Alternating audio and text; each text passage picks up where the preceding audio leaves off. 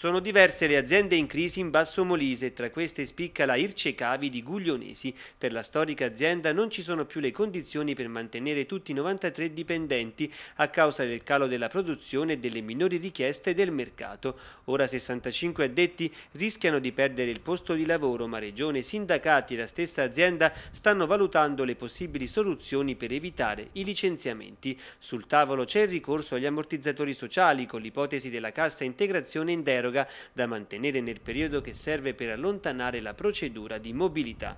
Un quadro in evoluzione all'indomani di un incontro informale avvenuto tra la direzione aziendale e i sindacati e dopo il decreto del governo sugli ammortizzatori in deroga, una strada alternativa rispetto alla mobilità ma anche all'ipotesi dell'eventuale accompagnamento per chi è disposto a lasciare la fabbrica dietro incentivi.